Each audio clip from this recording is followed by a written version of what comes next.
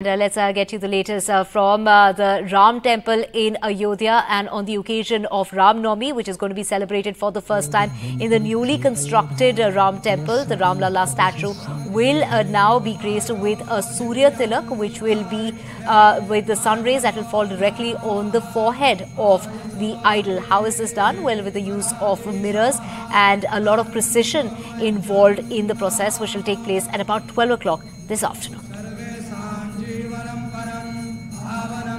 Yeah, my colleague Tanishq uh, joining us. Uh, Tanishq, a lot of uh, LEDs uh, being uh, put up so that everyone can get a glimpse of uh, this Surya Tilak, which is going to take place at 12 o'clock in the afternoon.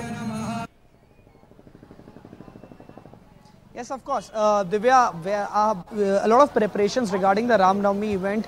Uh, you know, but I would like to first show you the crowd that has been thronging here, devotees that have been thronging here from all parts of country. Around more, more than 10 lakh people are expected to come here from all parts of the country and of course because uh, such so many people are coming there are of course high security arrangements. You can see over there uh, in front of me there is barricading over there and constant uh, you know checking. Vehicles are not vehicles are not being allowed beyond a certain point.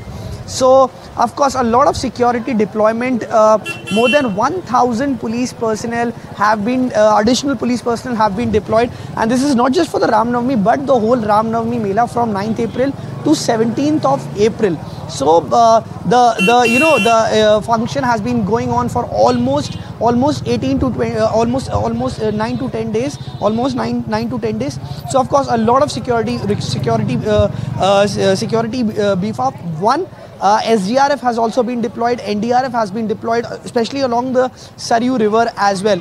So a lot of a lot of security preparations. But I would like to show you once again the crowd that has that is thronging here uh, for the Ram Navami and especially for the Surya Tilak. At around 12, at around uh, 12, 15 p.m., uh, you know, the Surya, uh, Surya Tilak will happen. Uh, it will it will last it will last around three minutes. So the height of the murti is in such a way that the sun rays will fall directly on the forehead of the Lord Ram's idol, and su su such a thing, you know, the the whole Surya Tilak, Surya Abhishek will last for around three minutes. So of course, first Ram Navami after Pran Pratishtha, Pran Pratishtha, crowds thronging, devotees thronging here from all parts of the country, and of course the security eh, has been heightened, has has, has increased across Ayodhya. Yes.